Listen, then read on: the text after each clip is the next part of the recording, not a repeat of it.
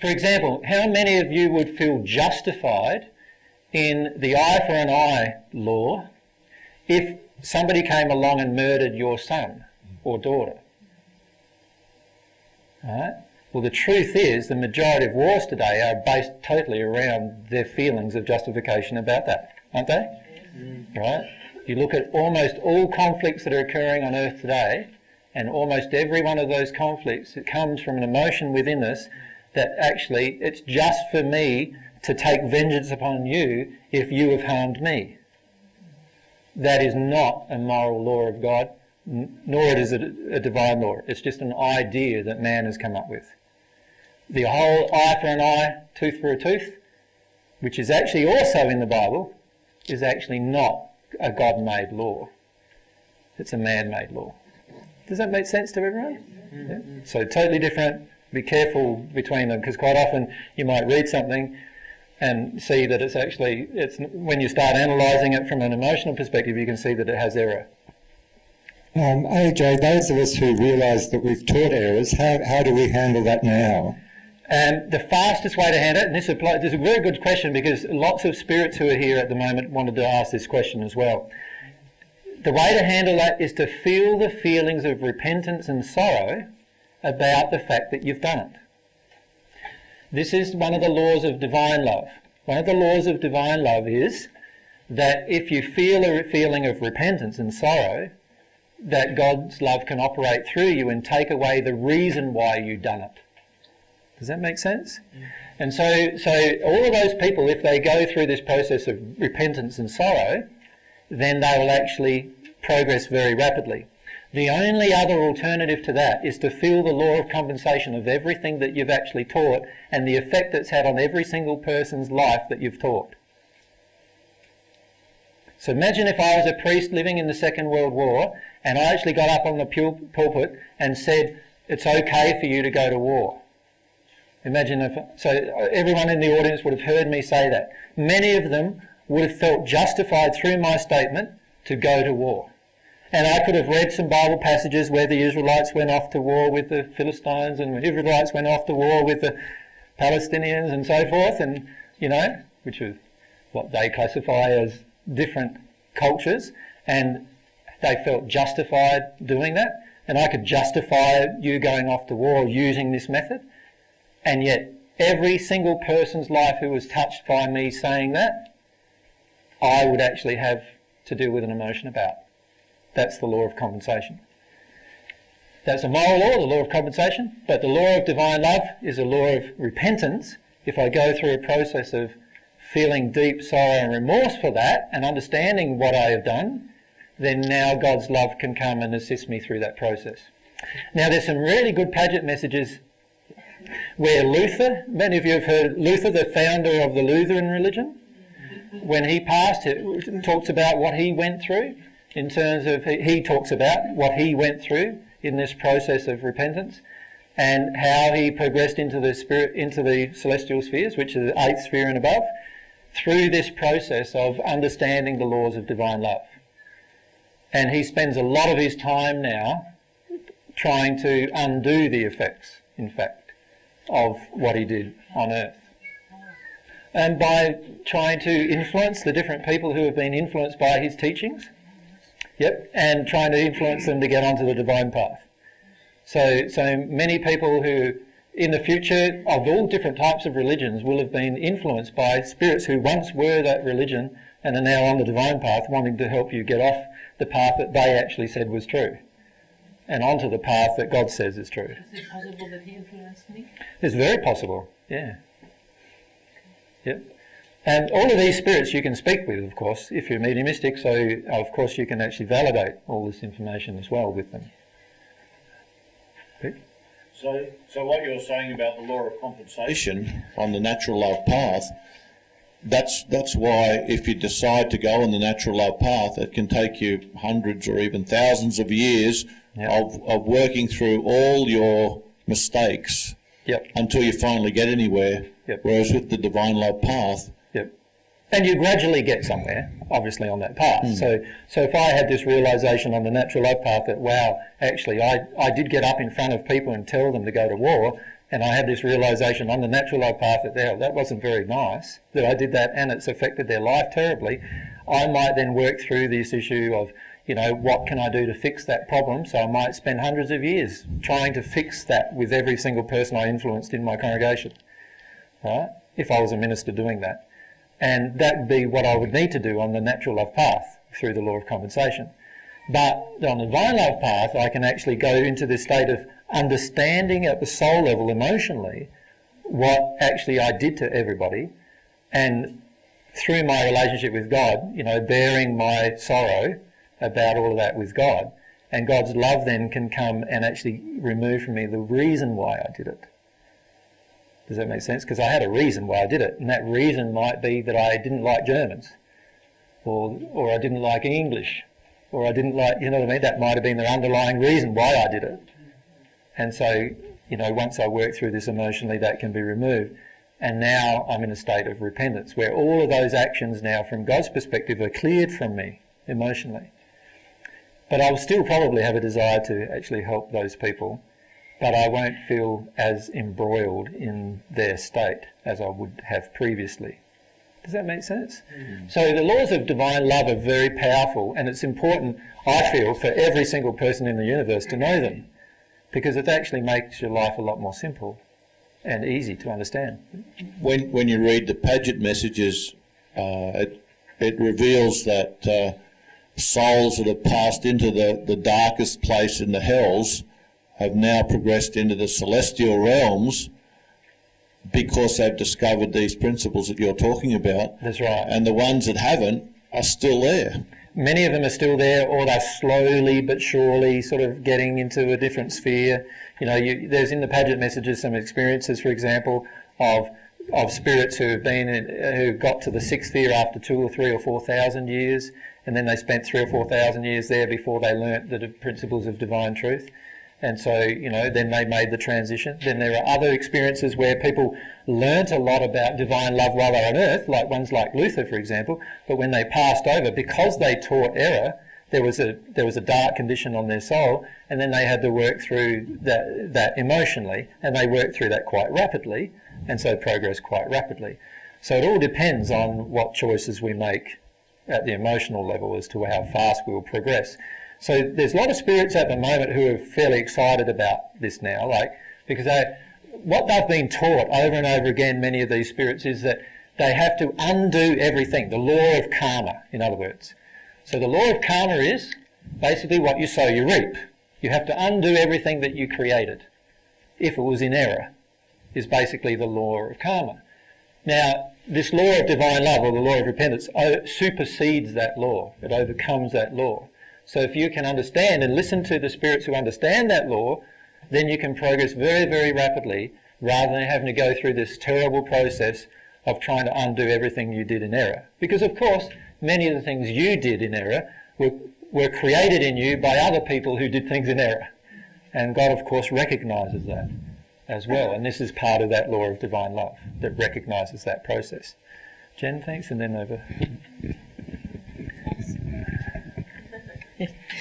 Um, AJ, I've been sitting here and I've been having this kind of floating feeling of floating um, in and out of understanding what you're saying. I feel like I'm understanding it, but then all of a sudden I get this feeling of not understanding it.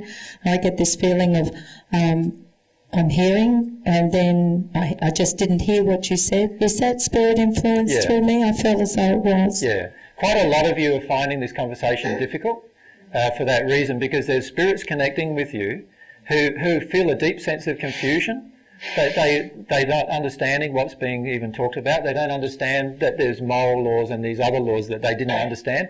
Many of them also have emotions of how fair is this? That kind of emotion that was reflected earlier. How fair is this for me? Like, like I didn't know about these laws, but I have broken them. I know I've broken them, but, but, well, what, what's, you know, that shouldn't be right. I shouldn't be where I am if I didn't know.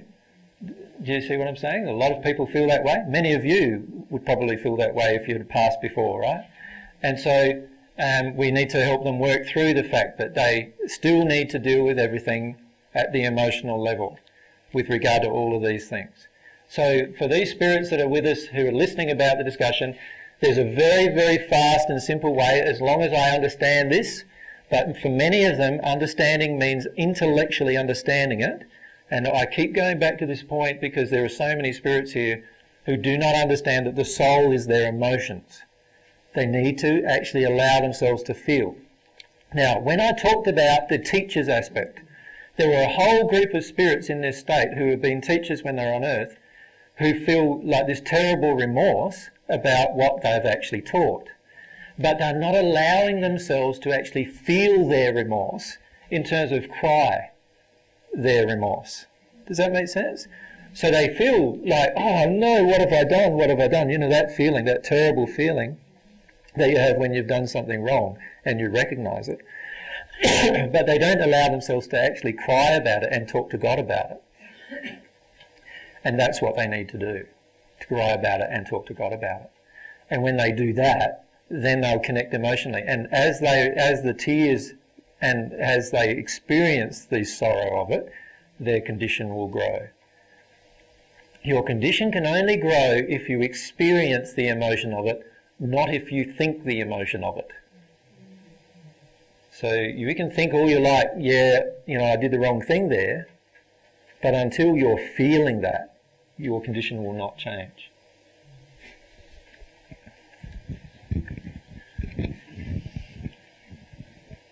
For years, AJ, I um, studied the principalities of Thoth, the Atlantean, in the Emerald Tablets. Yep.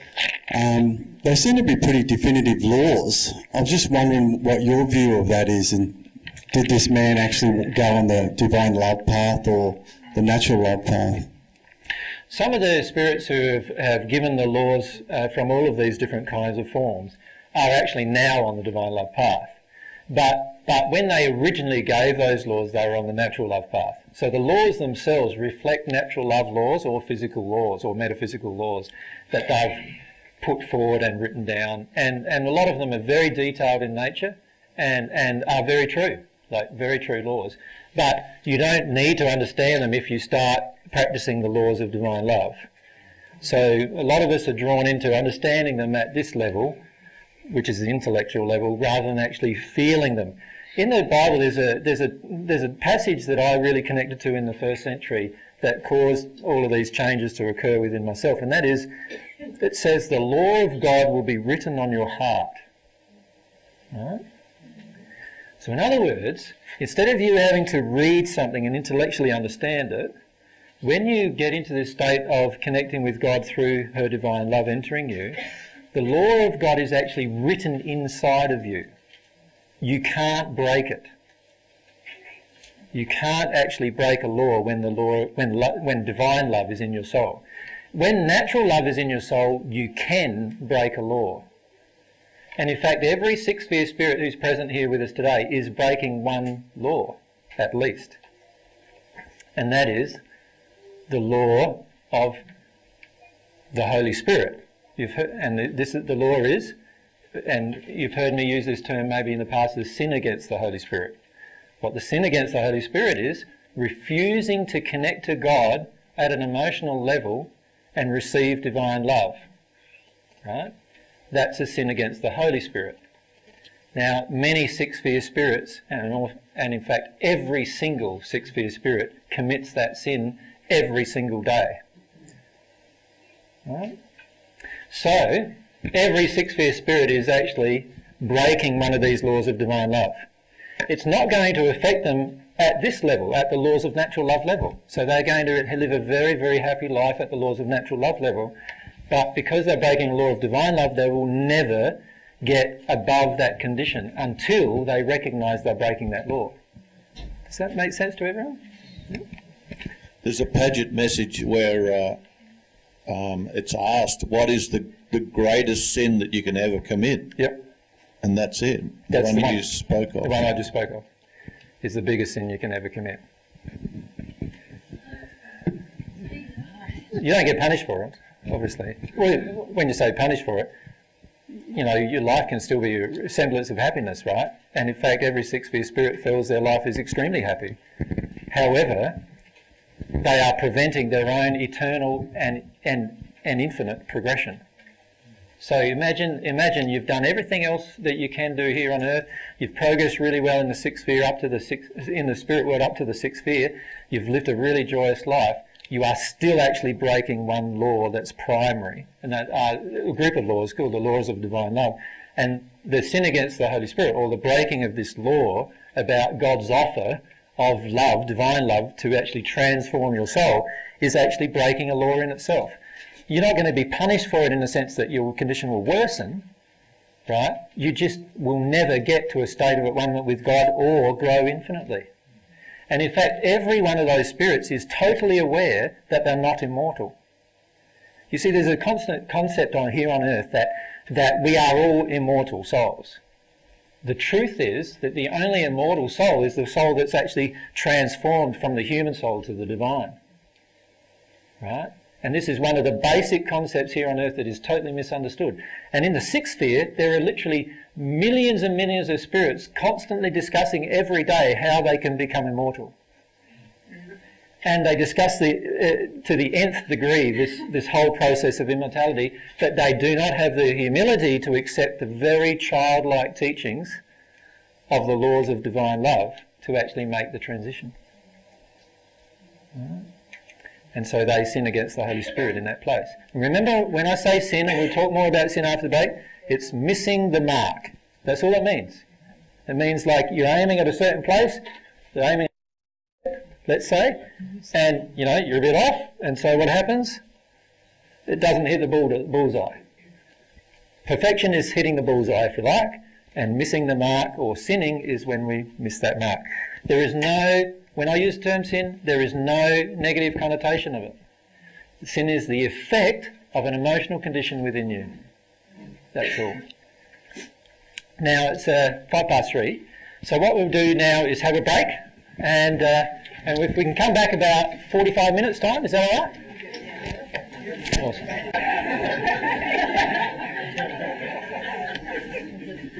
One thing I uh, would like to point out to you. Uh, when we're having discussions like this, what often happens is that uh, there are spirits with a person motivating a person. This occurs with all of us, of course. What happens if you feel a feeling of like feeling tired or lethargic or confusion or any of those types of feelings, allow yourself to connect to them because it, it means that there's a spirit with you with a very, very similar emotion to you that's causing you to shut down a little to the discussion and allow yourself to feel what that would be about. So let yourself feel what that is about. Like a lot of spirits don't being like to be told things that they don't know. Just like a lot of people on earth don't like to be they don't know, right? And so, so what happens is that, uh, you know, what's the standard way of handling that on earth? I just tune out or, you know, get distracted or do something else and so forth. And often that happens to us over and over. So if you notice that happening in these discussions, because some of the discussions coming up can be quite confronting emotionally, so allow yourself to feel about the, uh, the discussion and allow yourself to see what's going on emotionally. I just had a thought, I just got to check to see whether I am recording, which I am. That's good. All right, so let's get back to the discussion. You notice I've missed out the section sin and error. So let's uh, talk about that. Great word, sin. Three little three-letter word. It's even worse than a four-letter word. Right? and it's, uh, there's not many two-letter words that really trigger you, but a three-letter word. You know, there's two main three-letter words that trigger you: sin and God. Right? Uh, generally, there's three-letter words that trigger people. Uh, since when does sex trigger you?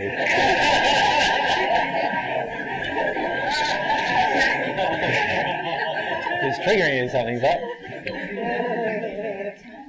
Yeah, so um, sin is a sin is a word that is often treated like with a lot of really negative baggage, right? And all it is from a Greek point of view is just the term. The term means missing the mark. Right? That's all it means. So if we have an emotional reaction to the word sin, let yourself feel about that because you've got some emotions about childhood, religion, God to work your way through if you have an emotional reaction to that word. the word itself really just means missing the mark. In other words, not being able to get where you aimed for. Right? Now, in the first century, I said quite often to people that they need to become perfect like God is perfect. That's a fairly confronting so, uh, topic as well when you think about it, isn't it? But when you think about it from what we're discussing, if I'm at one with God and God is perfect, then I will be perfect. Does that make sense? In my, the way that I deal with people, the way that I treat people, and all these other ways, because I'm actually reflecting God's qualities. So anything that's not that is basically sin. The problem that we have with the word sin often is this, this aspect of punishment. And when I use the word penalty, penalty, um, most people think of the word punishment. Right? So when we use the word penalty or the law of compensation, law of karma, which is what you sow, you reap, right? We often think of the word punishment, particularly if we've come from a Christian background, right? Particularly if our parents have been Christian and they took us to church and you know, we were taught this thing of naughty person. And when you think about it, even in our own interaction with our parents, we're taught this principle of punishment, aren't we? How many of us have spanked our child when it's done something wrong, not understanding it's actually our own law of attraction based on our own soul condition that the child did it? It most of the time we don't understand any of that. And so we finish up punishing our child for reflecting what is denied within myself which is actually very unjust when you think about it, but we do it. And so when, when we've grown up with that, we then have these terrible viewpoints of like penalty, punishment, we use interchangeably generally. The way God uses it is this. Every single law is there for a reason. And the reason is to maintain the harmonious universe that God created. Every single law whenever we break a law, there is an automatic consequence. Right? And the penalty is the consequence, if you like. What is the consequence of breaking the law? Now, remember, I said earlier that the biggest sin you could ever commit, the biggest missing the mark you could ever commit, is refusing the offer of divine love which is currently being offered to you. Right? That's the biggest sin you could ever commit. The consequence of breaking that law is you will never be at one with God. You will never be able to progress infinitely. Can you see how there's a consequence or a penalty for breaking that law? It doesn't mean that you won't be, have a semblance of happiness, because you will. And in fact, every six sphere spirit who's present with us today has a deep, deep sense of their own personal fulfillment and happiness. But there is the consequence they are experiencing of missing the mark with regard to the divine love law, and the consequence is that they will never be at one with God, they will never progress infinitely, and they will never be at one with their soulmate in a combined soul union state. That's the consequence of breaking that law. Does that make sense? Every single law has a consequence for its being broken. And remember I said, remember we've talked about hierarchy, we've got the, the lower level laws which are the physical laws, then we've got the next highest level laws which are the moral or the laws of natural love, and then we've got the highest laws which are the laws of divine love. Now, each set or level of laws has their own consequences for their being broken. So if I step off the building with regard to a higher building, the consequence of the law of gravity is that I can actually die physically die. Not my soul, obviously, but physically I can pass. So that's the consequence of the breaking of the law. Every single law is put into place by God for a loving reason. So let's look at the law of gravity. The Earth's spinning around 600 or 700, whatever it is, miles an hour, right? Or what's that in kilometres? About a thousand or so. Spinning around. You know, what would happen if there was no gravity? we'd be flying through space the moment we're born, right? Whoosh, out and you can imagine that. And unless there's something to stop you, you'd be out there, right? And uh, the picture is it. So you know you'd have you'd have all these people being born just flying off the earth all the time, and so it's obviously a loving there's a loving reason why the law was created. Does that make sense? So, but there's also a consequence for the breaking of the law. And that is whenever we attempt to break the law, there will be a physical, in the case of the law of gravity, consequence, where I might get injured or even die from the experience. It's the same with every single law. So the emotional laws, or you could say the laws of natural love, are all the same. There is a consequence, but the consequence is upon the soul, not upon necessarily the bodies, although it also will become upon the bodies because of the way the soul is connected, remember. So here's our soul.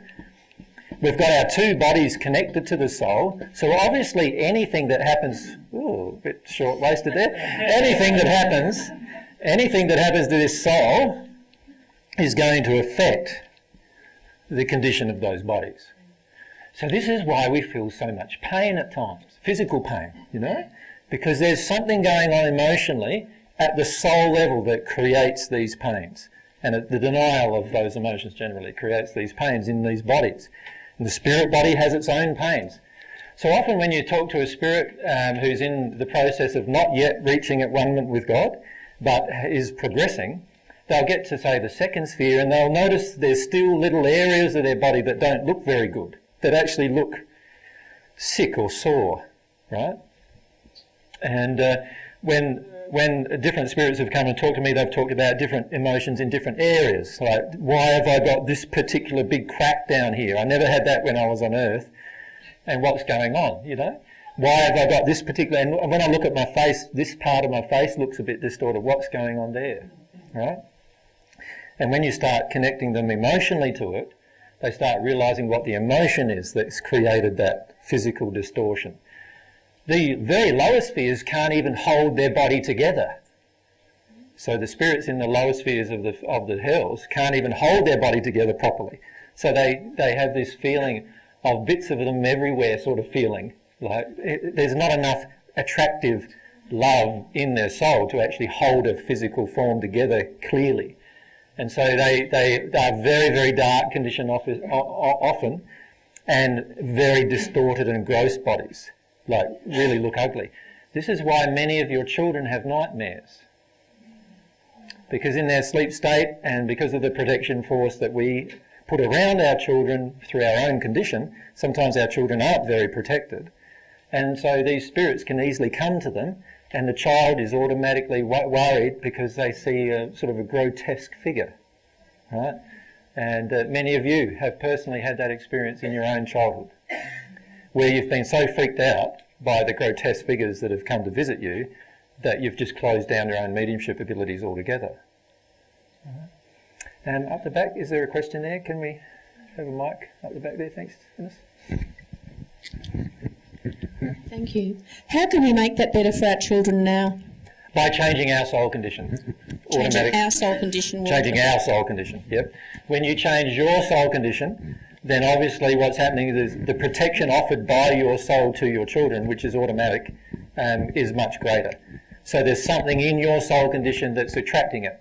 So uh, a lot of times it can be nothing, what we would normally classify as bad, you know, not so much badness. It doesn't mean if an evil spirit is attracted to you that you're evil. But what it does mean is you might be afraid of evil, for example. You might be afraid of being manipulated. You might be afraid of feeling powerless, or you might have these different emotions that you need to allow yourself to work through. And those emotions, the ones you need to work through, will be the ones that are triggered by the knowledge of this thing occurring. So if your child comes to you and feel and says, "Mummy, mummy, you know, like I'm terrified," you know, obviously the child wouldn't say it like that. They'd just be crying and scared and shaking. And then, of course, what, what the question you need to ask yourself is, what emotion in me is this? Oh, what do I feel? I feel powerless. I feel whatever the emotion is. Is the emotion you need to release from that law of attraction event. Does that make sense? Mm-hmm. Let yourself release that emotion. Your soul will be in a greater condition of protection. Once your soul's in a greater protection, uh, the child won't be influenced by that by that connection either she also meant now that they're grown up and they're in their 30s. Uh, same applies. So the question there was, with, if, even if they're grown up and in their 30s, same applies.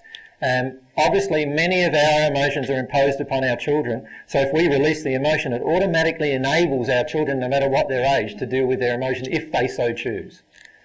So the same condition applies. So getting back to this consequence. Every law has its consequence. You could then say that the breaking of any law is an automatic judgment. Can you see what I'm saying? You see, as soon as if, if, I, if, the, if a law has a consequence, then if I break that law, there's an automatic judgment on something that, around me. It might be physical, might be spiritual or emotional, might be soul based. Let's look at it from the law of gravity's point of view again. What's the judgment of me standing on the edge of the building and then deciding to jump off, right? The automatic judgment of the law of gravity is if I'm too high, that I can safely land, and I don't have the aerodynamic um, law of aerodynamics on my side or another law on my side that prevents it from occurring, I will kill my material body. That's the judgment. Instant. Can you see? Now, it doesn't mean that God's actually judged you, does it? The law itself has imposed its consequence. Every single one of God's laws immediately imposes its consequence of being broken upon you. Every single one of them.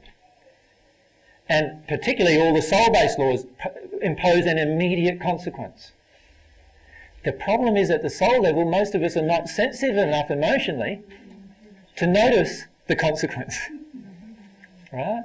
But if we were, and in fact, when you progress in divine love to the point of at one you will become so sensitive emotionally that if you attempt to break any law, you will automatically feel the pain of it. Even if even the attempt, not even doing it, but the desire to do it will cause you to feel the pain of that. So do you think you're going to be breaking laws? No. No, you won't. And that's why it becomes automatically. The law is now written in your heart. Can you see? When the law is written in your heart like this, you can't break it. It's in, physically, emotionally, soul based impossible for you now to break this law because of the immediate feeling you would feel if you did. So, this idea of consequence, if you could use the term consequence, uh, and sometimes you'll. In the Padgett messages, the term judgment is used. That is consequence. That's an immediate, there is an immediate judgment of what's going on at any one point in time, an immediate consequence. Now, often we use the term judgment as, you know, this connotation that we have to it today, which is when we were judged badly as a child, you're a bad person. God never feels you're a bad person.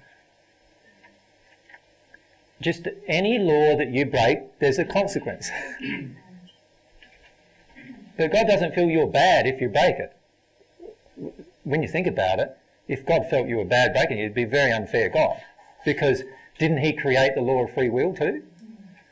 And so if he feels that you're a bad person if you break his laws because of your law of free will that he gave you, wouldn't that be unfair? So God doesn't do that. God doesn't, doesn't project judgment at you. All God does is create all of the laws of which every single one of them has a consequence that will impose itself upon you when you either break it or work in harmony with it.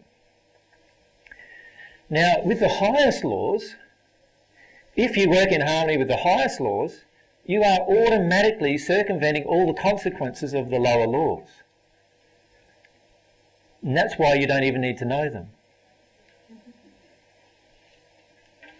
So if I'm living perfectly in harmony with divine love at the at one condition level, any potential consequence of a natural law or a moral law, it's like it doesn't exist to me. It's like all these other laws don't exist to me anymore. The reason why they don't exist to me anymore is because I automatically do them without thinking or without even feeling about them because it's already done in my because I'm already in harmony with the highest laws. So the beauty of that is that I don't have to even think about those laws or worry about them or care about them at all. And I automatically overcome them. Every one of them. I don't break them because I can't. not because, and I don't even want to. Not because somebody's preventing me to or telling me what to do, but because I don't even want to, in my own heart, break them. So, hopefully that little discussion has helped you see the relationship between this word, this bad word sin, right? So cool. And this idea of punishment and judgment. Now, what's happened with a lot of religious forms uh, on earth is that they've taken the term judgment then out of context from what I originally used it and now imply it to mean that you're a bad or evil being. Right? Now, every single person does and can do bad or evil things given the bad or evil emotions that can exist within the soul. But every single person also, in their pristine state, doesn't need to have those emotions, or those thoughts, or those desires to do certain actions that are evil. So the truth is, from God's perspective, you are a beautiful being with emotional damage. Right? God does not judge you as inherently evil, although many of you do have the emotion that you're inherently evil. Right? Because of what's happened with regard to the consequences of sin on the earth today. But you're not inherently evil. You're not inherently bad. No one is, in fact, inherently bad.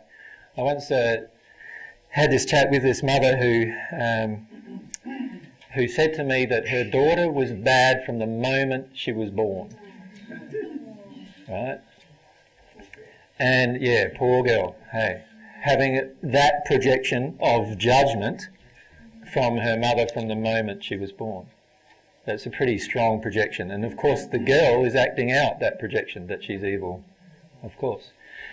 So um, the word judgment doesn't mean these negative things that religion has been taught, taught us that it means. All it means is that there is a consequence, an immediate consequence for every single action we take. Every single thought we have, every single feeling we have, there is an immediate consequence. Some of the consequences are fantastic, and some of them are quite negative and sad and painful, depending upon whether we've broken the law or we've lived in harmony with the law. So I don't know about you, but I'm very happy about law of gravity. It saves me from dying of asphyxiation within a few seconds. well, you imagine being flown off the earth, you've got about how many, at a thousand miles an hour straight upwards, right, or a thousand kilometres an hour straight upwards, it's not very many minutes by the time you exit the earth's atmosphere and you can no longer breathe, right? So, law of gravity has a lot of benefits. And so you will come to actually love all of God's laws because you see them as all beneficial. They help, they help you live in the universe that God's created. There is even laws, believe it or not, that allow you to create universes. So in your future life, you will start seeing the effects of those laws as you work through your emotions. So there's lots of things to look forward to with regard to laws. Have you done that, Yeah, yeah. Created a few universes? Well, from the seventh, every universe or dimension from the seventh to the twenty-second was the universe that I created. Right? So there's also been people who've created universes on the the lower end of that too. Because remember, originally the first human couple were just in the sixth sphere, so there was no other. There were no other universes available before then. So the fifth sphere, the fourth sphere, the third sphere, the second sphere, the first sphere, they've all been created by somebody. Yep, so I'm not the only person that has created universes. Other people have too. Does that make sense? Mm. You will. Would you like to make any changes? God's, God's, it's really God's laws that create the potential of you creating. Does that make sense? So in a way, I didn't create them, but I, but my soul condition in, enacted or evoked a law that created them. Like planting a seed? Yeah. Does that make sense to everyone? And so this will happen to you in your own progression too, where what some changes you make, somebody in a certain sphere will, and many times thousands or millions of people in a certain sphere will feel them. Every one of you have the power to change the universe. Every one of you. Uh, through these laws. God created these laws in, with this power. That every one of you when you're living in your free will completely and living in harmony with divine love completely, has the power to change universes. Now, if we're not living in harmony, we have less power, but we still have an effect. So don't you think that someone like Hitler, for example, had an effect through the choices that he made? And don't you think his mother or father, both of them had an effect on the earth through the choices they made and the way they treated him? Can you see? We all have an effect, right? Whether positive or negative. But our positive effects are going to far outweigh any negative effect. And this applies to Hitler as well, right? Any negative effect from him being present on earth and making the choices that he made will eventually be overcome. And he himself may even be a celestial spirit one day. Right? Every single person who's ever lived has that prospect through the law, through these laws that God made. Isn't that wonderful? Like that means that no, not a single one of us can make a permanent mistake. Isn't that that's a wonderful idea, isn't it? Like how many times were you told as a child you make a mistake? Well, like don't you realise that you could have and then usually there comes a long series of things that we think we now can't change, but but in reality, there's nothing, no mistake you can make that's going to be permanent. So is, isn't that a bit of a relief? That means then that you can make a mistake on the divine path and it'll be okay. You'll be able to undo it at some point. If you make it, you'll be able to undo it. And that's a huge relief. That also will relieve millions and millions and millions of spirits who are locked up in the first sphere, feeling like that's where they belong now forever and a day the thing is they don't have to be that way just because of this one belief that we've been taught, usually from a young age or usually from a religion, that you can't change once you've passed. Or if it's from an Eastern religion, you can't change unless you reincarnate. None of these teachings are true. Right? And if we know the truth, it can free us totally. That's why the truth sets you free. And the irony of it all is, and one of the discussions we will have about some of the laws will be, one of the laws will be the law of free will. When we talk about that, you'll see actually that what God is teaching you to do is how to exercise your free will in its most free possible capacity. Because you think about it. If I'm exercising my free will in disharmony with most laws, what's happening?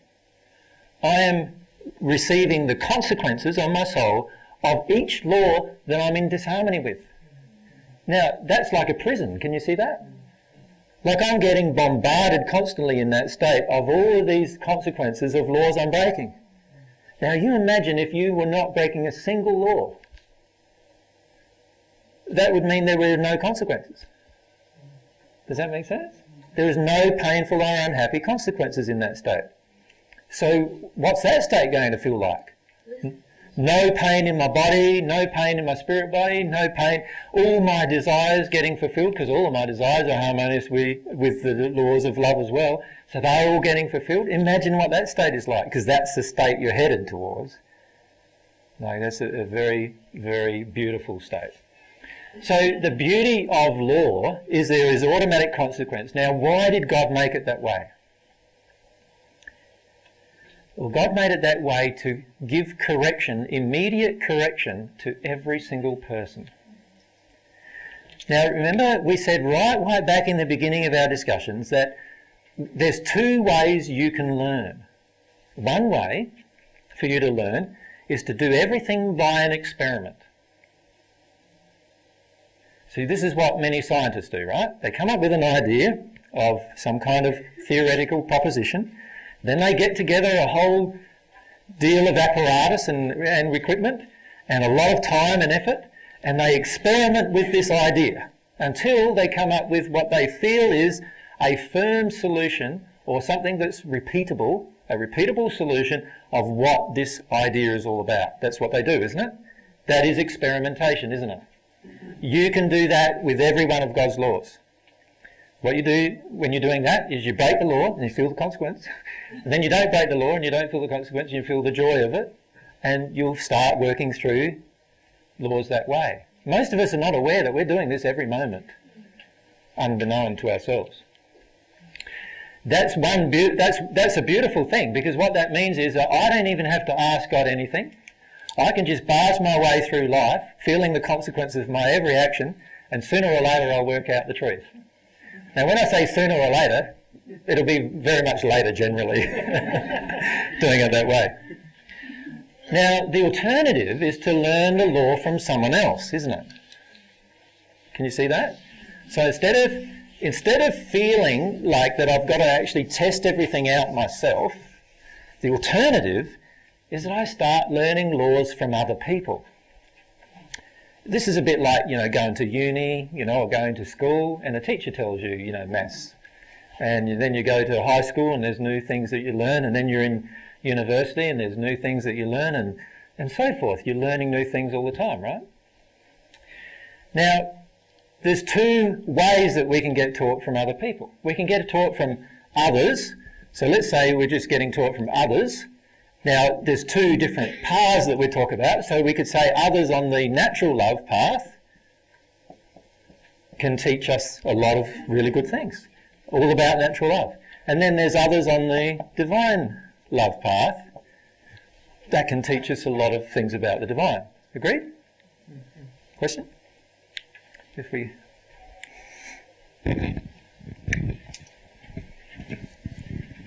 Hey Jay, just before going any further, um, question: one of the one of the laws is uh, thou shalt not kill. Yep. Okay. Every single day, each one of us are killing. Yep. How do you know? I mean, just by breathing, there's there's insects. We walk and kill an ant.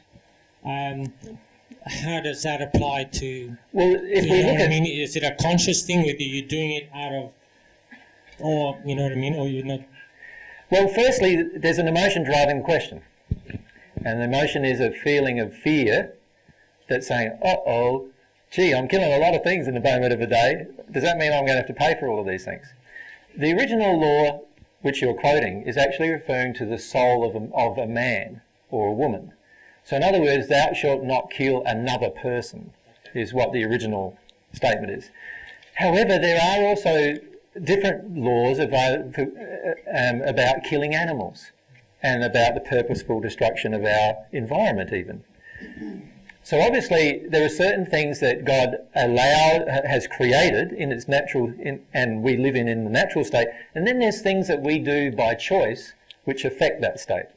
So this is where I've talked to you in the past about like eating meat. Eating meat is a choice that you're making to kill an animal. Now, do you think that's harmonious with love or disharmonious with love? Right? For the love of the animal, I'm talking about. It's disharmonious with love of the animal, right? Now, people, on the natural love path will say, well, you've got to eat some protein, so, you know, go for fish instead of something like that.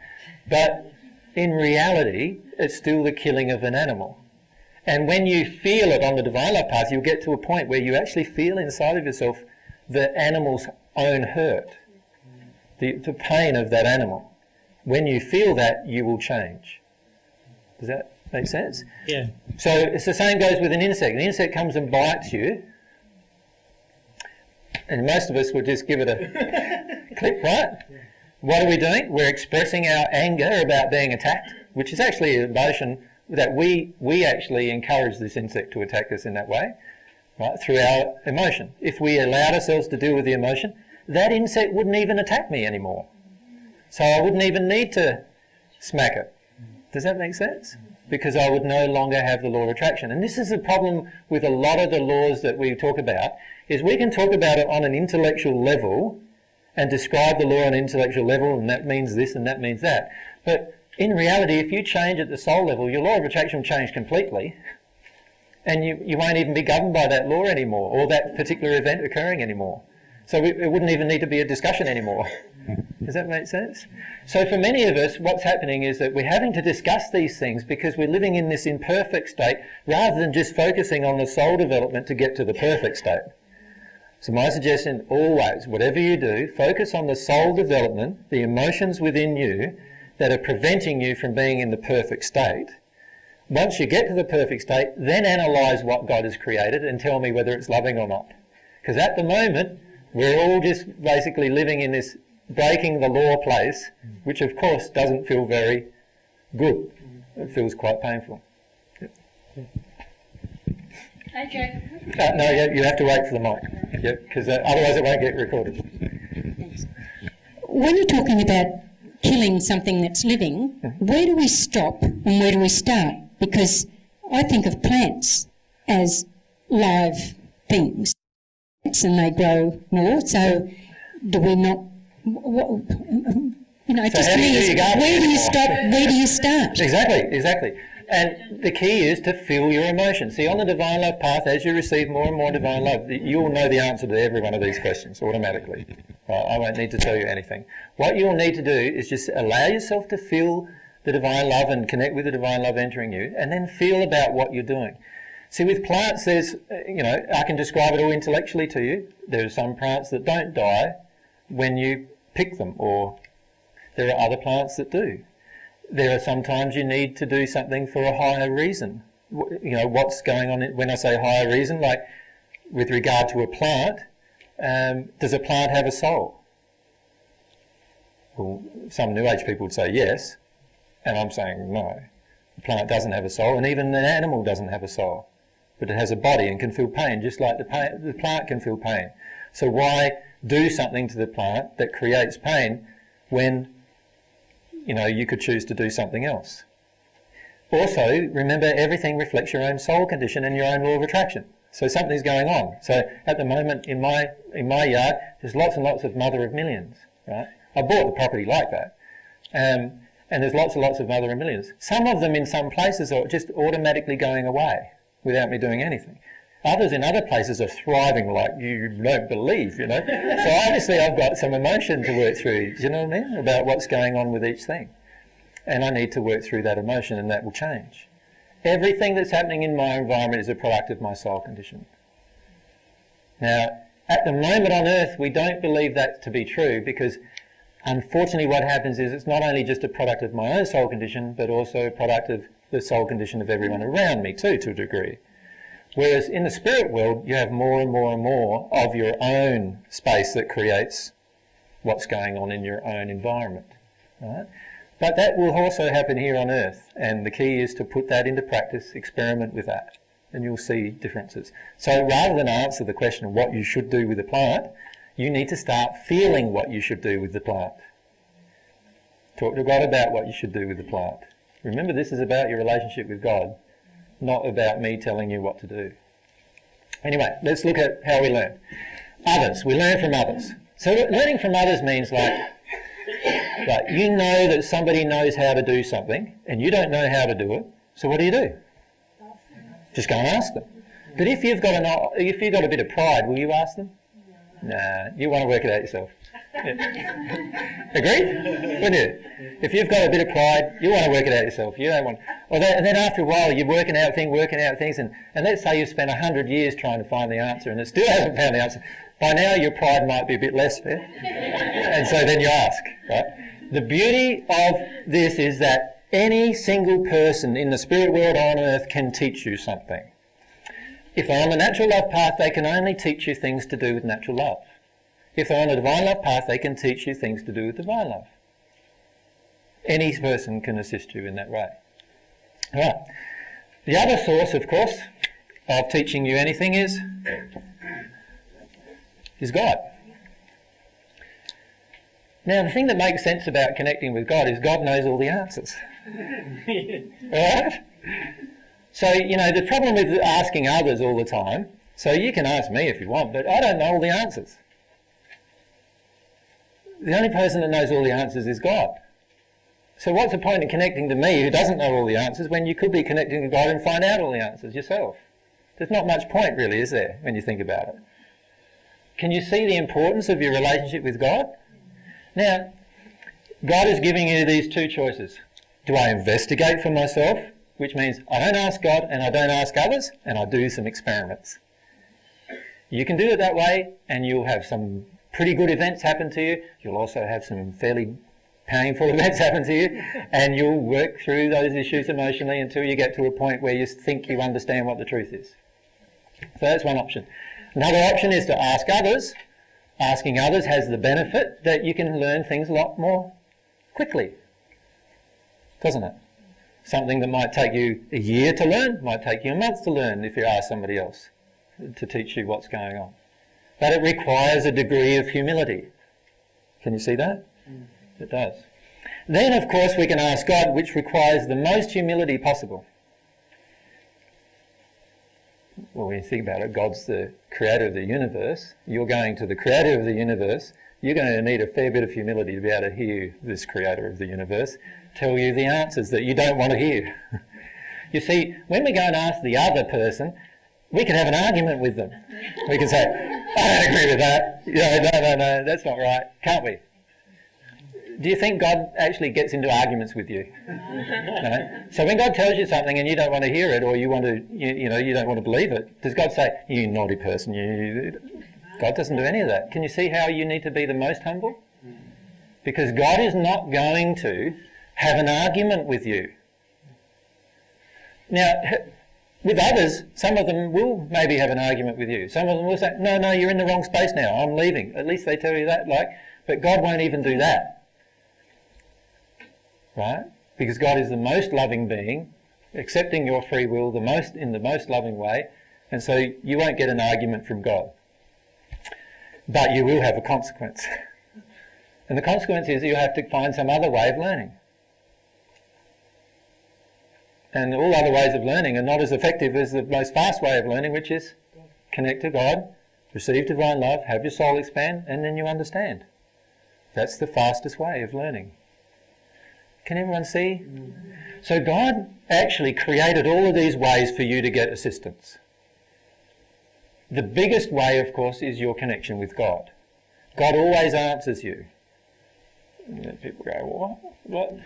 Like I've asked God lots of things, and God's never asked, answered me nothing. You know, yeah, you know, that's the answer. No, that's you know, and we just don't listen to it most of the time, right? And so, you know, we often think that God should do something in a certain way for us, but but we're often out of harmony with any, of lots of laws in the process. When we're out of harmony with a law, remember there's an automatic consequence. So if you're out of harmony with the way in which you ask God a question, you will not receive an answer. How do we come to God? In humility. What's humility? The definition of humility was I desire, I have a passionate desire to experience all of my emotions. Right? So we come to God with a passionate desire to experience all of our own emotions, even if they're in error. That's humble. And once I'm in that state with God, God can answer any single question we have. Can you see why most scientists on earth can't receive divine truth? Mm. Now, I don't mean that they can't, that they can't in the sense that they can't. I mean that they're not receiving it in the sense that they've chosen to not. Because many of us have so much intellectual knowledge that we're not in a humble place anymore that God can say, oh no, you know that bit of intellectual knowledge you have there, actually, you know, that's not the way actually it all works, you know. And you know this whole idea about solar power or whatever, I know it sounds like a great idea, but I've got like five other forms of power which are far better than that one, that you could actually be using at far less cost and far less damage to the environment. Do you want to know about those ones? no? No, I don't want to know about those ones. So, you know, and can you see how we often, often work on Earth? Like many times I've had conversations with many of you where you've asked me a question, I've given you an answer, and you said, no, it's not like that at all. right? You do that with God all the time. You ask God a question, God gives you an answer, and you say, it's not like that at all. Right? And later down the track, the only thing God can say, well, later down the track is, you'll find out that I was right. Does that make sense? That's the only thing God can do, is to say that to you. Right? And usually can't even say that to you because you won't even listen to that. So you need somebody else to say that to you. Right? So let yourself learn from God. Learn the laws from God. The divine love path is the way you'll do that by actually having God's love enter you. When the love enters you, your soul expands in its sensitivity to breaking every law. And its sensitivity to breaking anything, in fact, is all is greatly enhanced. And a lot of us will say, oh, that's a, not a very good thing. You're telling me I'll be more sensitive about, about, yes, you will be more sensitive. You know, when you see the television footage of a person dying overseas, you know, children dying overseas through war, and you cry, you're going to cry some more about that. you'll be more sensitive. You'll get to the point where you feel saddened by what, what's going on in the world around you, but you'll actually get to a point after you've released your own causal emotion about what that's triggering to a point where you're no longer even saddened, but you have this huge compassion and understanding for what is the cre- creation of that event. And you'll get to that point because God has taught you. So allow God to teach you her laws. Like, there's millions and millions and millions of laws, but the simplest of them is the most powerful. And that's beautiful when you think about it, is it? There's a, there's a poetic irony in that, don't you think? Mm. Like, you know, all of these so-called learned people, so-called gurus and everything else have all of these different laws in their minds and their hearts, right? But but in the end, the simplest possible thing you could ever conceive is what God's conceived for you to understand at its most powerful form. Now that just is like, you, you think of the beauty of that creation alone. It's just amazing. Amazing what effect that can have on your life. That means our little children at two, three years of age can actually learn to become at one with God so rapidly that, and a little child, two or three years of age, can understand this process and they can become one with God so rapidly. By the time they're six or seven, do you think they'll have any negative law of attraction at all? Like these are this is what's available to us as a race, mm-hmm. but unfortunately, not ena- you know it's not acknowledged or enabled yet. Okay, so what do, else does the, do these laws do for us? The other thing they do is expose emotional error. E cubed.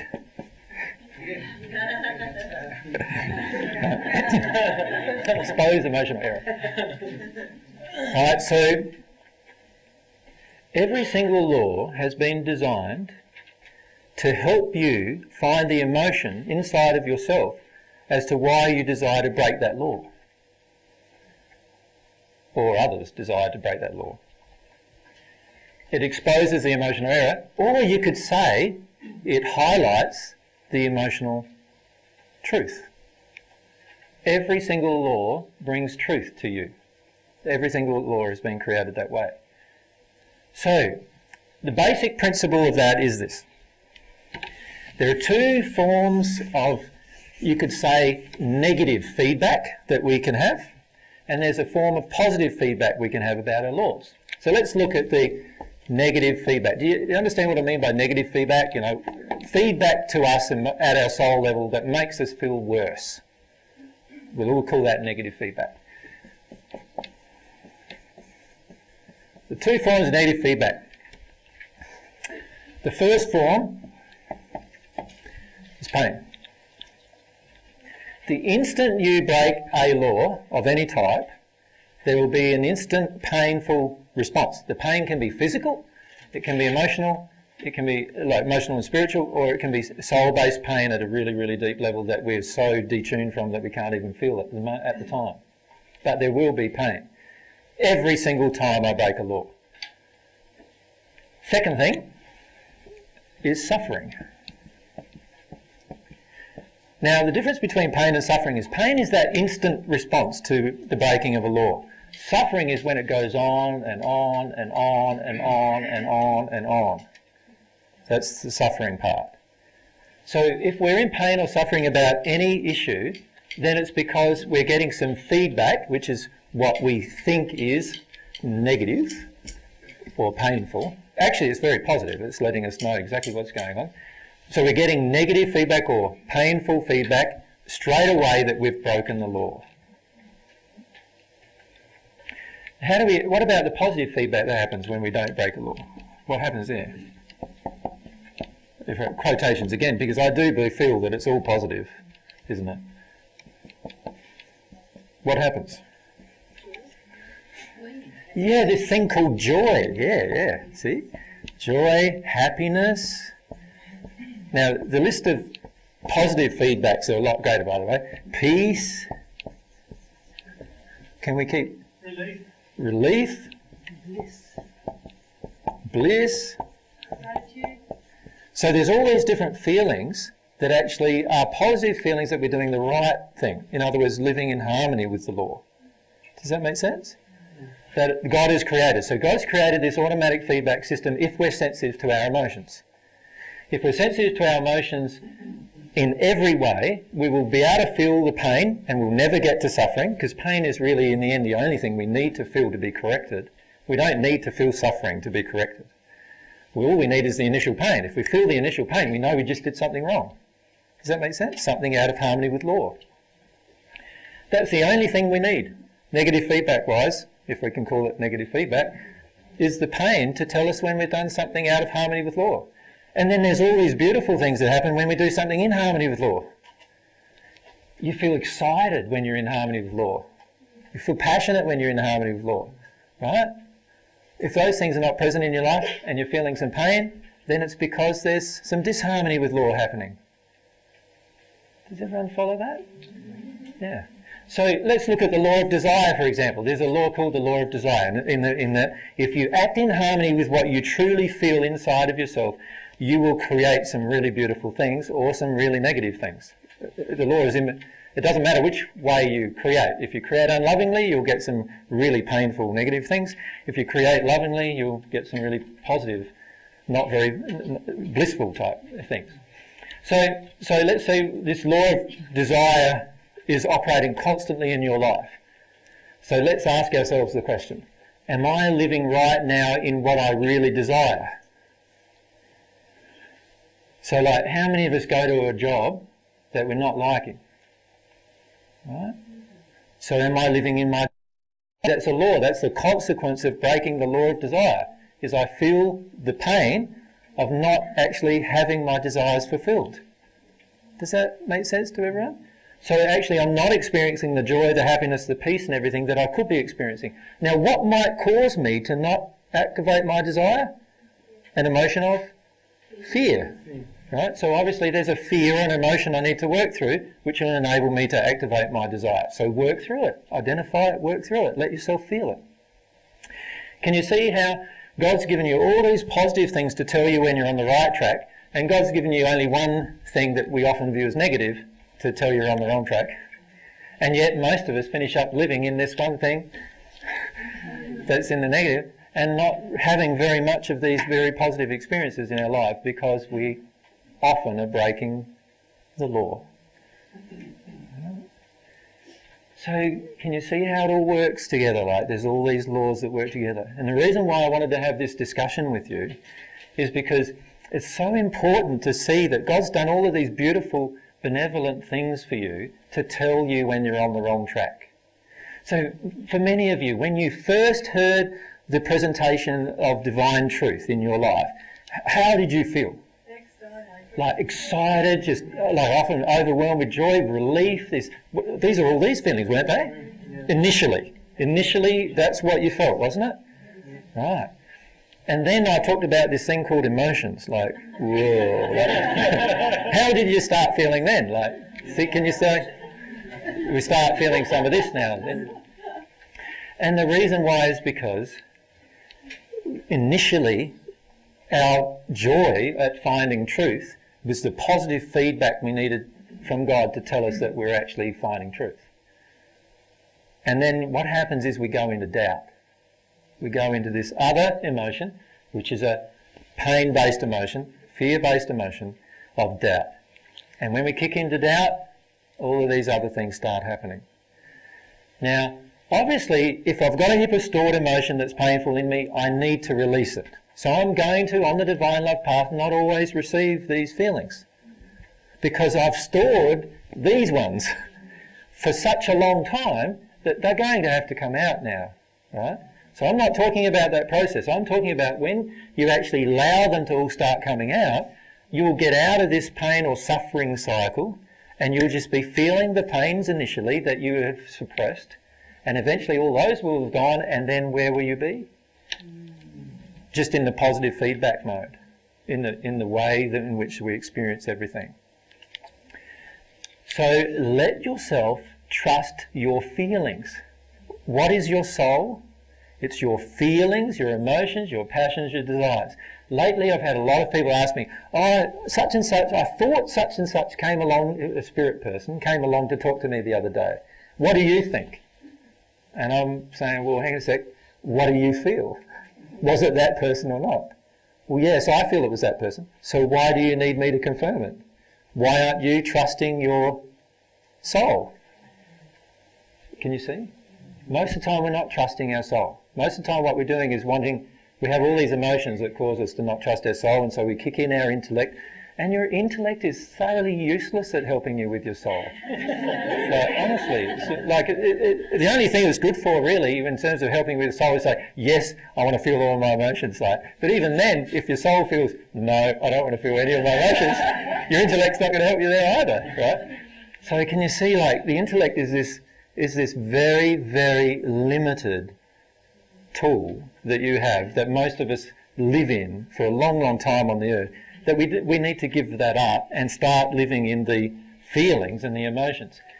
And noticing the negative and positive feedback that occurs in our lives. When we notice these, this feedback occurring in our lives, we know straight away the law is spoken. So, what, in terms of a practical situation, what happened for myself is for years and years, and I've described this to you before, for years and years, I was wanting a relationship with a woman who did not want a relationship with me, right? And almost every single day I would cry about that.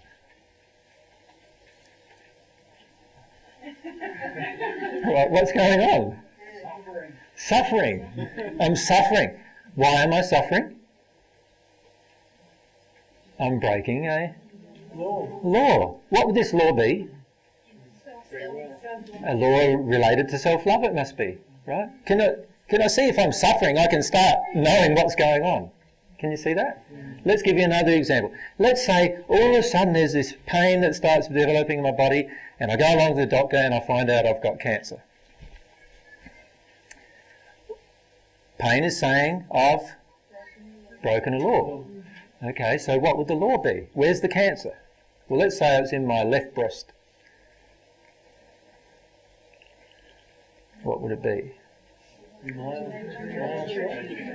See, now you're all kicking into your intellect. What you need to do is feel what it's about, don't you, right? Don't you? You need, if it's you, your body, you need to start feeling what it's about.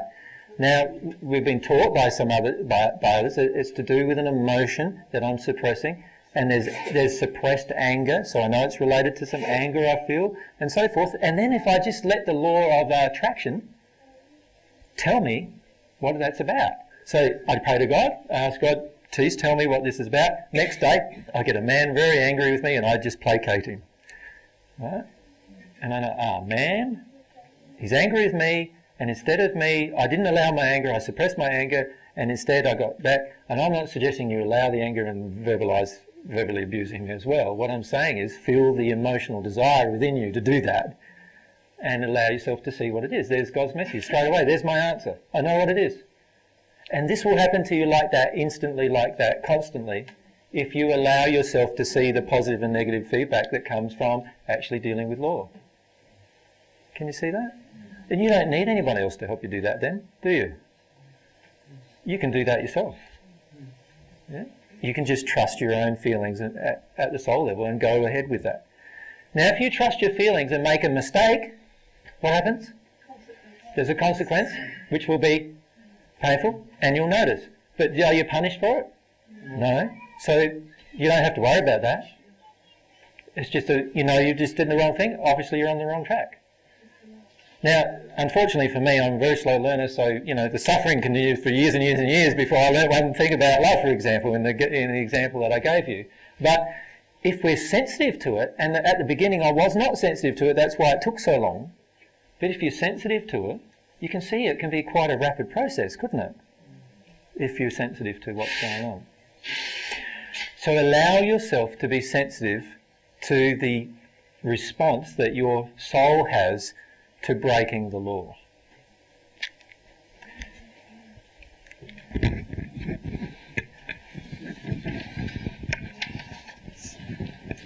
AJ, what if a, a, situation brings all of those feedbacks, both positive and negative? then there is a certain law you're breaking and a certain law you're not. Okay. Uh, the, the truth is, if you're not breaking a law, there are no negative events and, or negative consequences unless it's an old experience. So that's the only proviso. So, so let's say something triggers an emotion in me that relates to an emotion when I was three with regard to my father that I stored and suppressed. Well, obviously, if that's coming out, Yeah. then that's still a positive experience. Does that make sense? Because I'm actually now feeling the pain that created my suffering. And I do need to do that. So that's the only time in which we will have painful experiences is the stored pain of our previous experience. Okay. So how can you tell the difference if you're actually reliving and re-experiencing stored pain, or whether that, say, a- a relationship is causing you um, suffering in the now? Stored pain always occurs at an age. So when you relive it, you will always feel that age. Do you follow me? Yep. So, so if I'm three, I'll feel three, I'll feel childish. I'll feel childish in the expression of that stored emotion. If I'm in an adult phase of it, of anger or rage, then I'm not experiencing that emotion, and I'm now experiencing the pain of suppressing that emotion, or the suffering, I would say, of suppressing that emotion. Mm. Every emotion you experience that's been stored in you, you will release, and when you release it, the event that it's related to will generally flow through you as well, no matter what age it was that it occurred. So you'll know the difference. You will also feel it in your body. There will be feelings or sensations in your body that feels like things leaving you or changes occurring in your body. Many of you have experienced this already, where you've had a huge emotional reaction to something and you realise it was related to something that happened when you were five or four or something, and then when you came out of that, your body will feel different. The first few days it will feel like, oh, it's making a heap of sort of adjustments and changes, and then after a while it all settles down and you feel quite differently in you. That's how you know that it's been related to something that's been causal from an old stored emotion. Stuff that continues to go on and on and on and on are things to do like crying every day about an adult event that occurred last week, you know, or last month. Because it, the real emotion's not about that. Mm. It's always related to something earlier than that generally. Mm. Right?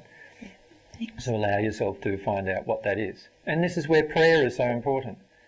If you pray to God about it, God will use whatever God has at her resources to try and assist you to find the answer to your question, if you're open to hearing the answer. The problem is, as we'll talk about tomorrow, many of us are not open to hearing answers where we are creating problems for ourselves or others. We're totally happy, I'm totally happy to hear that Peter hurt me. I'm not totally happy to hear that I hurt Peter. Does that make sense?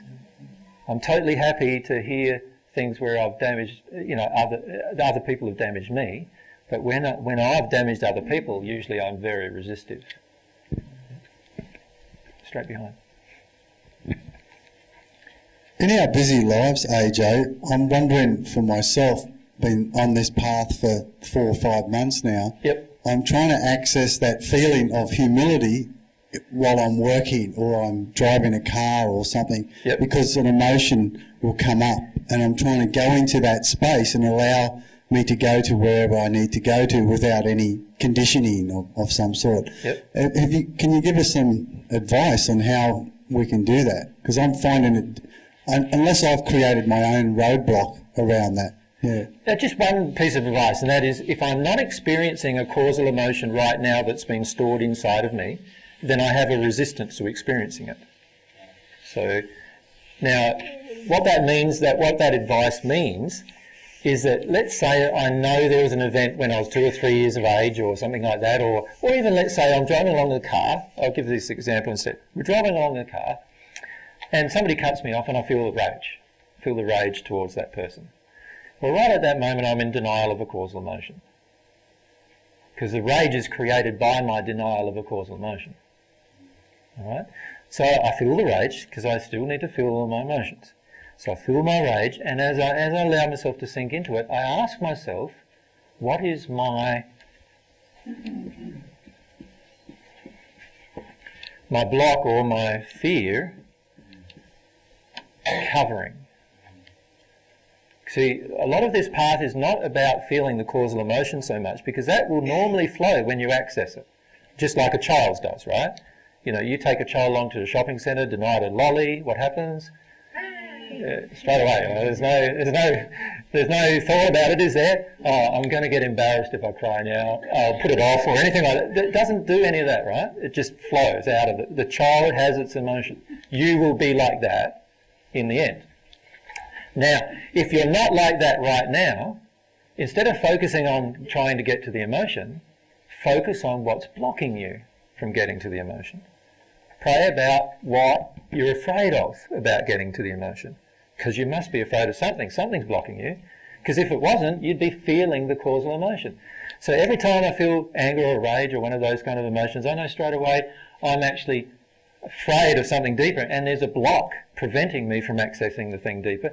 And it's oftentimes also a choice, by the way, to feel the feel the anger the, the, block in itself creates a, deep, a, a bigger emotion. So the block might be fear about something, which will create the choice to get angry, right? So if I know that I'm feeling that, all I need to do is just say, oh, I'm blocking something. Do you really want to know what it is? Probably not. If I'm angry, I probably don't want to know. Agreed? Because if I wanted to know, there's a pretty good chance that I'd already be knowing it. So I don't even want to know what it is. In fact, I'm peed off with the whole idea that I need to know what it is. You follow me? And allow yourself then to actually feel that you are purposefully choosing to deny a causal emotion rather than trying to access the causal emotion. Does that make sense? So, so let yourself identify those blocking type emotions. The blocking emotions all are the emotions that prevent the automatic flow of emotion out of you. Now, a blocking emotion might be something like, oh, I'm afraid of what other people will, will think of me if I do it. Or it might be that, you know, I view emotions as weak. Inside of me, I have this feeling that if I'm emotional, I'm weak. Um, I have a feeling, you know, which is a fear of vulnerability. If other people see me being emotional, they'll be able to use that against me. You know, there's all sorts of blocking emotions that prevent us from feeling the emotions themselves that are underneath. Unfortunately, the hardest task on the divine love path is to actually deal with your blockages. Right? Once you deal with your blockages, the underlying emotion just flows out of you, you know, and it's such a beautiful experience then because you can feel the change. But the hardest task and the most thankless part, part of the divine love path, it seems at times, is this process of actually feeling the block to the emotion. So allow yourself to experience that. Yep. So, getting back to our discussion about law, can you see how beautiful God's laws are? They've all been there to create this beautiful surroundings for you to actually access every single emotion within you that prevents your connection with God. And you don't need anybody else to help you, only if you connect with God and you have humility, you can actually do the whole lot without assistance. But why would you want to do that when you've got people around you, spirit friends around you who can assist you, as long as you're humble? Why wouldn't you just connect with them? Let them feel. Let yourself feel what God has given you to identify whether you're actually progressing or not. Let yourself do that.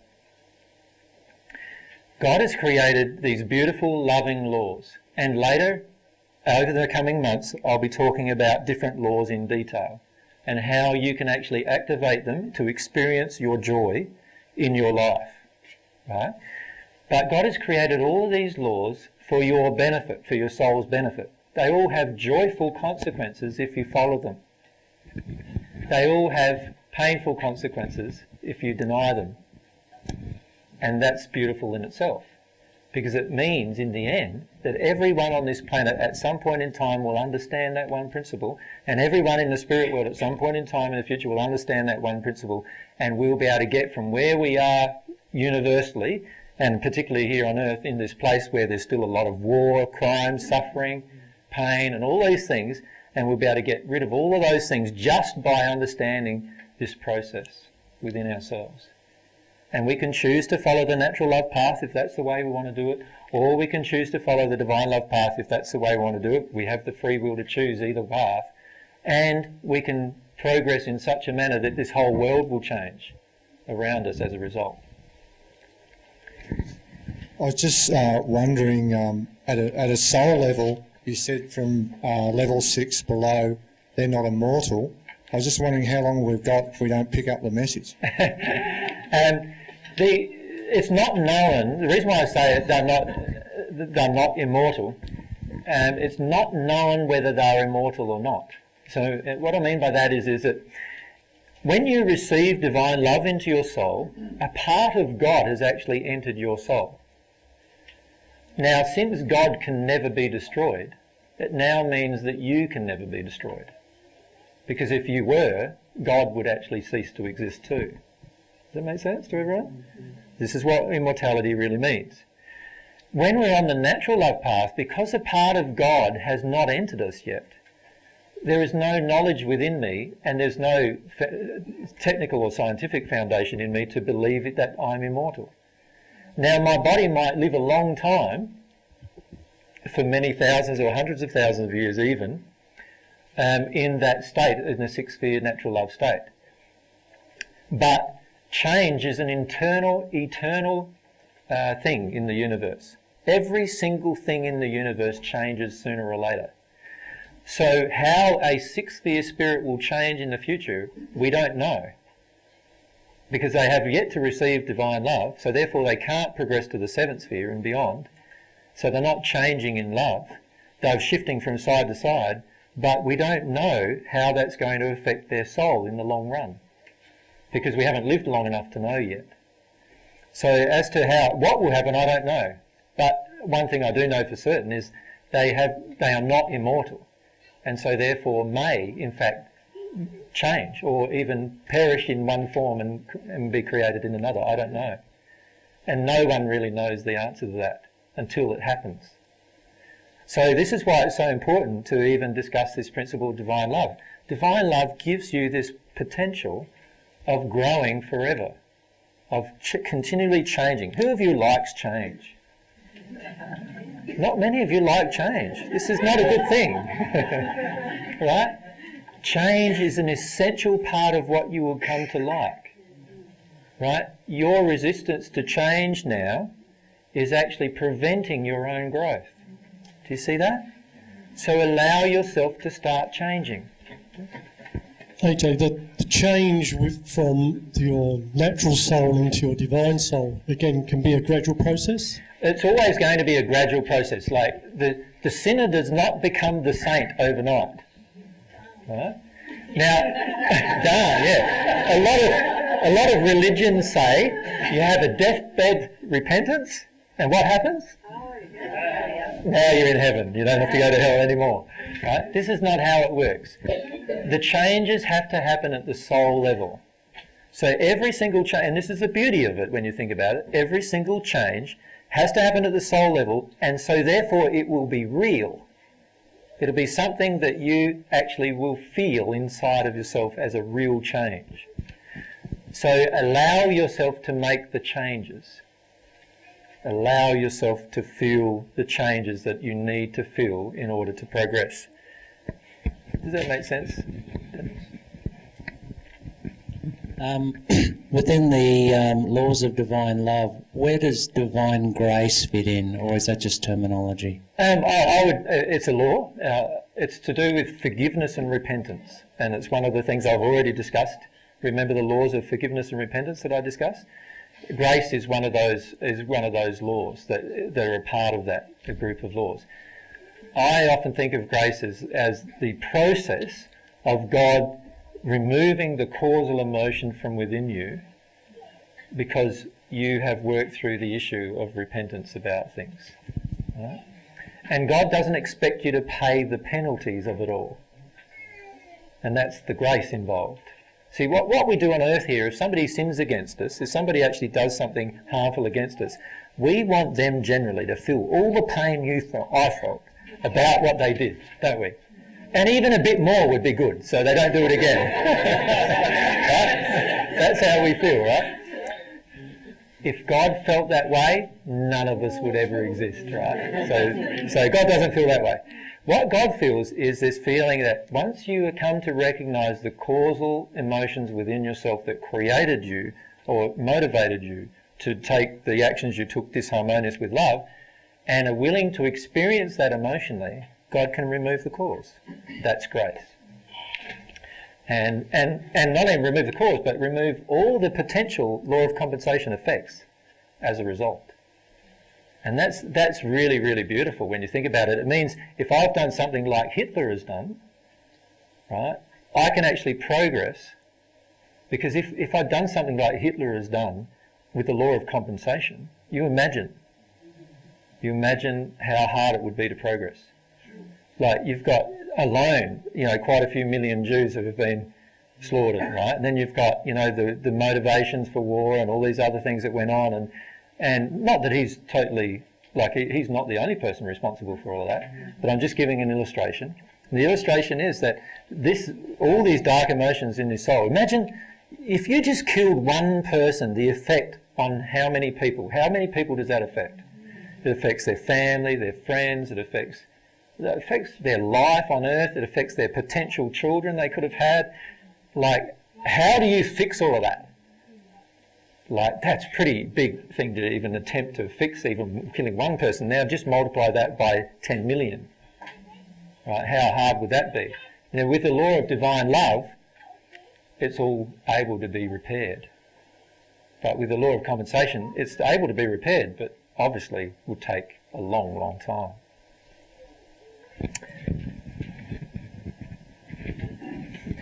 By the way, just by, before we ask the next question, uh, the spirits here are now starting to feel like a bit more buoyant, buoyant which is good, um, and are starting to feel like there's a you know there's a way through uh, working through these things, understanding law and so forth. So that's really good. So I just want to encourage them for a moment just to. Now they don't really need to listen to the rest of our conversation. All they need to do now is just connect to some brighter divine love spirits, and and they can uh, speak with you about uh, what's happening in your life and how to work through your emotions and that's really that, that's all enough now for you. You don't need to stick around any further if you don't want to. So. Yeah. Um, the, on the question of divine grace, uh, I was talking earlier on to somebody about that today, just now, uh, at the break, and I felt that every one of us that have been here today um, are receiving divine grace by the fact that out of six billion people on the planet, uh, however many are in this room are sitting, yep. listening to, you know, uh, receiving God's gifts through you. Yep. You know, yep. I feel that's really an amazing, amazing gift. And it says a lot for your own law of attraction yeah. uh, as exactly. well, in terms of how much you desire truth and how much you want to to practice truth. So, so even if you're getting downhearted sometimes and you're feeling like, oh, you know, you know, this all seems pretty hard and you're feeling like you're not really getting through your emotions. The fact is that being here has, has its own law of attraction. The fact is that you're, you know, learning things you've never learnt before. That all is coming from your own desire. You've really got yourself to thank, right? You have. But you also have God to thank too, obviously, because, you know, this is a beautiful truth that, that very few people in the past have ever learnt on the earth but but you're now learning them on the earth, and the the the beauty of that is unimaginable for you in the future. You you have no idea what that's going to mean for your future, even if you pass. In terms of the average person who passes and the experiences that you will not have to have, that they have had to have in order to learn these lessons. So there's a lot of beautiful things happening, and, and, and so therefore don't don't cover over what you're learning either. Many of you have still got a lot of fear about what you're learning. You know, what are other people going to think of me learning this crackpot stuff? And not that you think it's crackpot stuff, right? Otherwise you wouldn't be here. But, but you often feel that other people will feel that you're a crackpot, right? So deal with that emotion. Work your way through that emotion. Let yourself release it so that in the future you can actually speak openly about these truths that are that are bringing joy to your own heart. Right? So let's look at the response to divine law. Divine law is a good thing. It maintains the harmony of the universe. Divine law also is a good thing for you personally because it's your feedback mechanism telling you what's bringing you closer to God or taking you further away from God. It's a, so it's a beautiful thing. Allow yourself to come to appreciate God's laws. One of the one of my personal passions for the last 2,000 years has been investigating God's laws surrounding the soul. Right? And the reason why it's been a really big personal passion for me is it has such a huge benefit on not only my own soul, but every single person who I can teach those laws to. So allow yourself to really feel these laws in your own life and allow yourself to begin teaching those laws to others and understanding them yourself completely. And remember that the simplest laws are the most powerful ones. So it's not going to be this big complicated process of you learning this and learning that and learning this over hundreds of years, you know, and then eventually you get to the stage where you understand. It's not like that at all. It can be a very, very rapid process that a child can understand. So hopefully today, with what we've gone through, it's giving you a bit of an overview or an introduction to God's laws. What we're going to do now, from now on, is we're going to start looking at some of the laws in a more detailed way in terms of how different laws can benefit you. Tomorrow, what we're going to be focusing on tomorrow is some of the laws that affect how you love other people.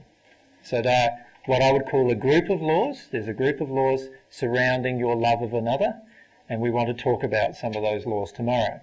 The next time we get together, which will be two weeks' time down in Brisbane, we'll talk about the laws surrounding the love of yourself. So many of us are still experiencing not very much love of self, right? And we're working through these emotions of love of self. So that's going to be very beneficial to look at what kind of actions and things that we need to do to affect our love of self. Then the day after that, what we're going to do is incorporate those two laws or lessons of laws, if you like, into your relationships, into your romantic relationships. All right? So that's uh, the plan over the next uh, few few weeks. After that, I don't know what we'll be doing at all. So, it, so it just depends. Just depends on what comes up. Yes, AJ, you um, you, you uh, whetted my appetite with the, the, laws of divine love, but you don't seem to be uh, uh, about to, to, share them with us yet. I, I have already shared uh, a lot of the laws of divine love already. Yeah, in, in past sessions. So my suggestion is to get a DVD about some of those laws. Um, I will be spending a lot more time on it in the future. But one thing I have noticed, and this is something I'd like to address to everyone, one thing I've noticed is that the sessions we've had about relationship with God have been the most poorly attended sessions. Now, the reason why that is, is because there's still this feeling in many of you that you can't have a relationship with God. Does that make sense? Like that maybe God doesn't want you, or that you feel very frustrated in the relationship with God, and so forth. So, my suggestion is what we'll be doing is this little series of talks, and then we'll be back on the relationship with God stuff again. And there we'll be talking about a lot of the principles of repentance, forgiveness, those kind of principles which are the highest laws. And my suggestion is hopefully by then you've worked through some of the emotions that prevent you from allowing a connection with God. Just allow yourself to work through what's going on with that relationship with God. So when I use the term God, many of you are still having trouble with that from an emotional perspective. Right? So allow yourself to, uh, to, give it, to get some trigger there. Many of you, when I talk about God, think, oh, it's all getting too religious now. Right? So, so allow yourself to work through that emotion because it's not about religion. This is about your personal relationship with God and your own growth eternally. Where does a religion get involved in that? So it's not about that. But obviously there's some emotions about that. So allow yourself to work through those emotions. So my suggestion is over the next four weeks, what we're trying to do is just open up some of the things of natural love as well. The reason why we're doing that is myself and Mary have noticed that a lot of you are still doing unloving things to others in, in justification of you dealing with your emotions. Do you know what I mean by that? Like, you start feeling some anger and rage, and so what's the first thing you do? Sure. Find somebody, find somebody who you can be angry and enraged with, right? And away you go, right? That's not harmonious with law, as you'll work work out tomorrow, right? That's not harmonious with law. You're going to harm yourself doing that, and harm the other person as well if they don't, if they have some emotions themselves that can be harmed through it. So allow yourself to start looking at that. You see what I'm saying? And this is one of the reasons why we're covering these subjects now because we feel that I feel that many times we're connecting with an emotion, but unfortunately we're staying in this emotion of wanting to punish, blame, or hurt other people. Underneath that emotion and into the real causal emotion and experiencing and releasing that emotion. Does that make sense? So that's why we're covering this stuff now for the next uh, two weeks or, so, or three weeks or so. And then after that, we'll get back onto this subject of, of our relationship with God, and hopefully, dealing with your emotions will be a bit less traumatic because at the moment, what's happening for many is you're feeling your emotion, projecting it another, and then getting another law of compensation pain in your own soul. Can you see that? That's like keeping you stagnant. Does that make sense, Dennis? AJ, why do we tend to do it to the people closest to us? Because it's easier. no, like, like if I know someone's going to bop me on the nose if I'm angry, I'm going to not get angry with them. But, but if I know somebody's not going to bop me in the nose, then, I, then I'm a lot more willing to get angry with them. Can you see that? Yeah, but it, but you, I don't know. I, you, I tend to find that it, you, it's someone who who is really close. You know, your partner, your, your wife, whatever. Yep. They're the ones that, that tend to take the brunt of your crap. Yep, and they shouldn't, obviously. Um, and that's an issue of love of themselves as well as to whether they're doing that. So there's obviously issues of love of themselves they have to work through if they're if they're in a situation where you're projecting anger at them and they're not acting upon it. But that's not your justification for your anger. All right? And this is why we want to talk about these two issues of love of self and love of others. It's very important you don't break those laws when you're on the divine love path. Can you understand why? It's called the divine love path. love, love path. It's a love path, right? So when you break the loving laws, there are going to be penalties upon your soul. And, and so the, the problem is, is that we can keep ourselves stagnant for some time if we do that, right? So um, what we want to do is help you get past that point of stagnation and into this place where you're really owning the underlying causal emotion rather than projecting this stuff at other people around you. Anyway, I'd like to thank you very much for your time today. And uh, tomorrow, look forward to your company if you're coming tomorrow. And thanks for also all of your donations that you've given today and, and in the past as well. And myself and Mary um, went out and got a reliable car at, at last. Uh,